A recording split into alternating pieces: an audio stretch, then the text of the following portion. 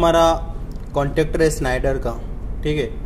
तो इसको कैसे खोलना है और इसकी सर्विसिंग कैसे करनी बताने वाला और ये कैसे खुलेगा? अधिकतर लोग क्या होता है स्नाइडर का कॉन्टेक्टर बहुत मुश्किल से बोले खुलता है तो अधिकतर उसे खुल नहीं पाता, इसलिए बता रहा हूँ। ये देखिए, ये हमारा एल सी वन डी बत्तीस का कॉन्टेक्टर है, ये तेरह नंबर है और इधर चौदह नंबर। ये क्या होता है? एन ओ ठीक है फ्रेंड ये पुश होगा, तब इसमें कंटिन्यूटी मिलेगी।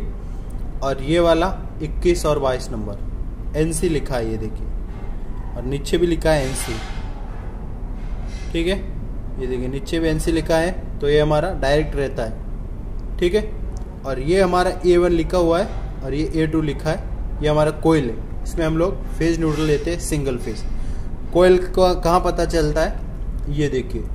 ये लिखा हुआ है ना 220 वोल्ट पचास हर्ट साठ हर्ट मतलब ये 220 वोल्ट तो आप समझ ही गए होंगे, हमारा वोल्टेज है, और ये वाला 60 हर्ट्ज और 50 हर्ट्ज है ये हमारा फ्रीक्वेंसी है फ्रेंड्स। जो हमारे भारत की बिजली की फ्रीक्वेंसी है 50 हर्ट्ज है, अंडर जो बाहर की कंट्रीज़ है उसमें 60 हर्ट्ज है, ठीक है? तो अभी हम लोग इसको खोलते हैं, ठीक है? तो वीडियो शुरू करने से पहले फ्रेंड्स, वीडियो को लाइक, शेयर एंड चैनल को सब्सक्राइब ज़रूर करें। तो ये देखिए, क्या करना सबसे पहले? ये जो लॉक है ये वाले, इनको आपको खोलना है यहाँ पे टेस्टर डाल के, इस खोलने का। यहाँ पे लॉक हो जाता है तो आपका कॉन्टेक्टर खुल नहीं पाता है, ठीक है? दोनों साइड से ऐसे ही करना। ये खोल दिया है हम लोग। उसके बाद में हमें यहाँ पे टेस्टर डालना है और धीरे धीरे करना है। ज़्यादा ताकत नहीं लगानी, नहीं तो आपका टूट जाएगा, ठीक है? वैसे के वैसे इधर से भी ऐसे करना है। ये देखिए। खुल गया। खुलने के बाद में सीधा हमारा बाहर आ जाएगा, ठीक है? आपको अगर मार्किंग करना है आसानी से तो यहाँ पे आप मार्कर से मार्किंग वगैरह कर सकते हो। आपको खोल फिटिंग करने में दिक्कत नहीं आएगी, ठीक है? तो हम लोग इसको खोल लेते हैं। ये देखिए, ये खुल गया है। अंदर से ऐसा होता है फ्रेंड्स ठीक है? ये हमारा एनो हो गया। एनसी और ये कोयल का। तो कोयल का कैसे पता चलेगा आपको? ये देखिए, ये कोयल का है जो यहाँ से अंदर तक टच होता है, ठीक है? तो इसको हम लोग निकाल लेंगे। इसको भी यहाँ से करना है, ये देखिए। इसको ऐसे निकाल लेंगे। निकालने के बाद ये निकल गया है, ठीक है? और ये हमारा कॉन्ट्रेक्टर खुल गया है स्नाइडर का, ठीक है? और ये हमारा कोयल निकल गया है। ये देखिए। ये हमारा कोयल है फ्रेंड्स ये देखिए। ये जो लिखा हुआ नज़र आ रहा था हमें, वो इधर है, ठीक है? तो इसको हम लोग वैसे रख लेंगे। और ये देखिए, एक कोयल का सिरा है। ये देखिए, एक सिरा तो ये रहा, दूसरा वाला सिरा ये रहा, ठीक है? ये हमारा, इसमें हम लोग देते हैं सिंगल फ़ेज़ फ़ेज़ और न्यूट्रल ठीक है? तो ये हमारा ऐसे, ये लिखा हुआ इधर है, यहाँ से चला जाएगा। तो यहाँ पे ऐसे जाएगा तो यहाँ नज़र आएगा, ठीक है? ये आ रहा ठीक है फ्रेंड्स अभी हम लोग आगे का देखते हैं। ये हमारा है, स्प्रिंग है, इससे पुश होता है ये देखिए ऐसे। ठीक है तो अभी इसको हम लोग, इसको भी खोलेंगे, ताकि हमें अच्छे से पता चले। और ये इसकी ब्लेड वगैरह ख़राब तो नहीं है वो भी पता चले, ठीक है? तो इसको ऐसे टेस्टर यहाँ पे डालने का है, और वैसे का वैसे, इधर भी यहाँ से ये लॉक होता है, इसको लॉक को खोलने का, ठीक है? टेस्टर की मदद से हमें ये लॉक खोलना है।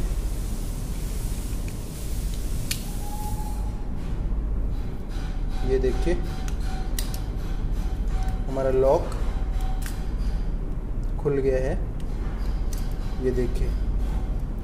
एक एक पार्ट्स इसका अलग हो जाएगा फ्रेंड्स ये देखिए। ये हमारा खुल गया है, ठीक है? यहाँ पे ये देखिए किट अंदर जो किट होता है कॉन्ट्रेक्टर का, ये देखिए, ये रहा। ठीक है, ये ऐसा। ये खुल गया अलग। और ये भी अलग खुल गया है, ठीक है? ये देखिए।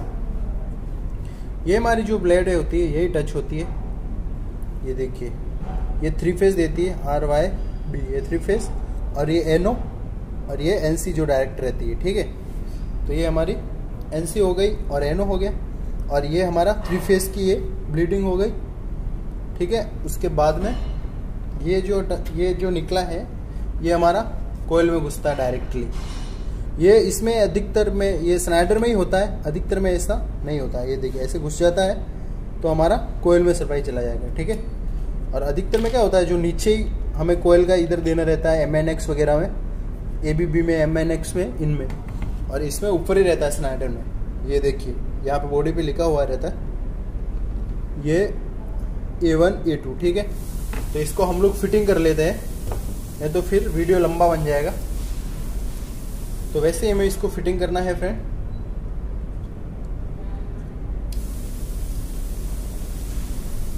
ये देखिए, ऐसे डालने का है। उसके बाद में हमें ये वाला भी ऐसे डालना है।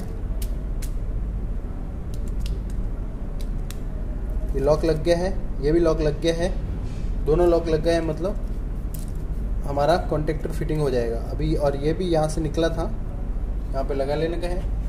और इसको अभी हम लोग ऐसे लगा लेंगे।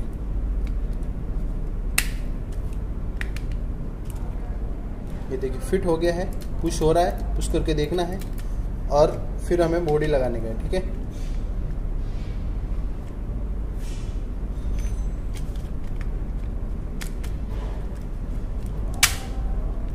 ये देखिए, हमारा कॉन्टेक्टर लग चुका है फ्रेंड्स ये देखिए साइड से लॉक हो गया। अच्छे से फिटिंग हो गया और यही कॉन्टेक्टर में होता है, बाकी कुछ नहीं होता है, ठीक है फ्रेंड्स ये देखिए, हमारा अच्छे से फिटिंग हो गया यहाँ से लॉक वगैरह, ठीक है फ्रेंड्स ओके थैंक यू